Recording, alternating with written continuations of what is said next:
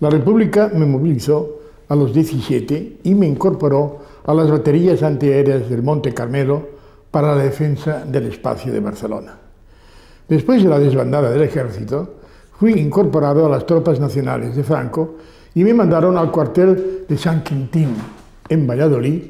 Mi madre era de Medina del Campo, en cuyas paredes se leía, desde aquí se sale para la muerte. Y fui destinado a una columna que conquistaría los últimos reductos republicanos y la isla de Menorca.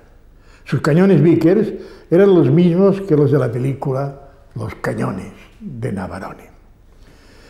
Mi iniciación a la poesía fue a través de un libro editado por la Generalidad de Cataluña titulado Presencia de Cataluña, en el que habían los mejores poetas y escritores.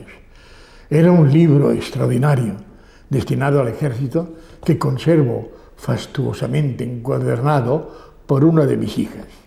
Allí trabé amistad y conocimiento con Carlos Riba, Manén, Sagarra, Salvat, etc., escribiendo mis primeros versos en catalán.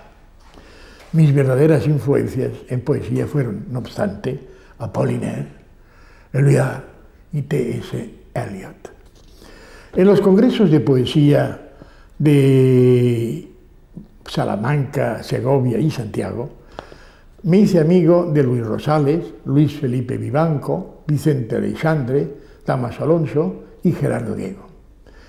Gané el premio de Ciudad de Barcelona en 1953 con un jurado presidido por Genedors, que influyó mucho en mi vida y me nombraron miembro de la Academia Orsiana del Faro de San Cristóbal. Desde entonces escribí en catalán y en castellano.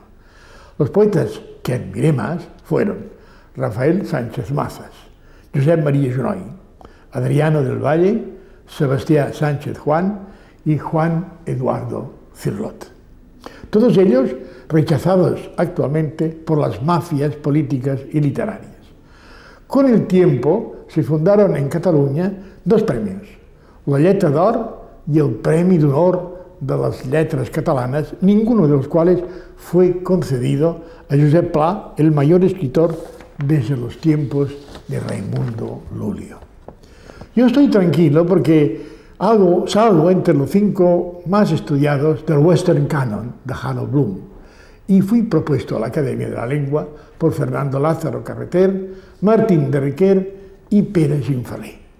He sido Premio Nacional de Literatura, miembro de la Real Academia de Buenas Letras de Barcelona, doctor honoris causa por la universidad y traducido a 25 idiomas. Por todo ello, doy mis más profundos pésamos, pésames a mis queridos y admirados mafiosos en el país de la envidia y de las maravillas. Muchas gracias.